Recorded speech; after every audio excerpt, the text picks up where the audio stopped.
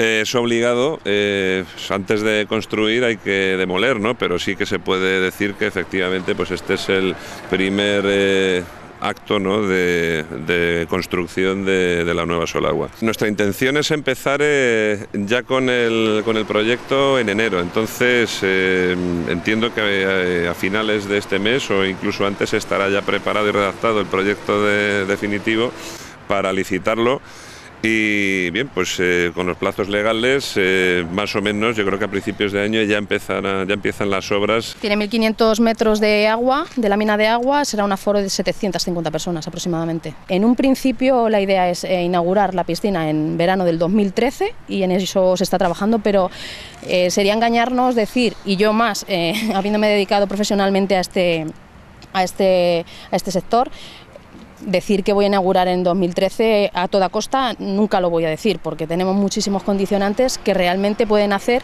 que se produzca una mala ejecución o que haya problemas.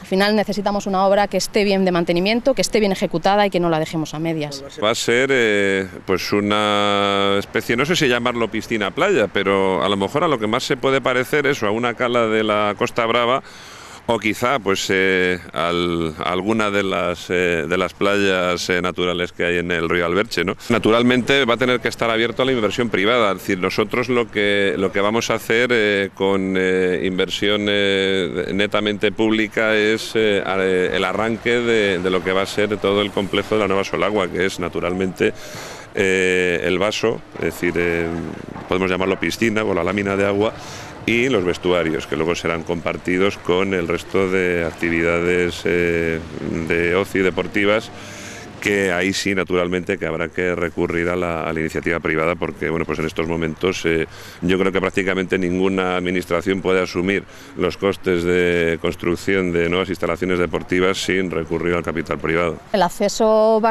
a ser justo por la, por la avenida esta perimetral del PP5.